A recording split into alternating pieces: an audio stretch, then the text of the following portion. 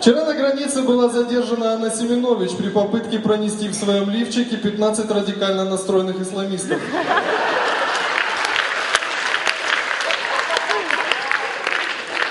Если 1 января утром активно заняться спортом, то можно пропотеть салатом оливье.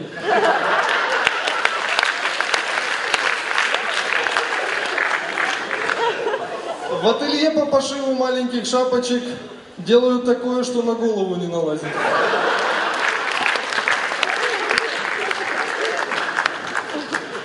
Главы стран Большой Восьмерки в экстренном порядке собрались для решения вопроса по стерилизации Джигурды. Николай Азаров признался, что он смотрит передачу «Танцуют все».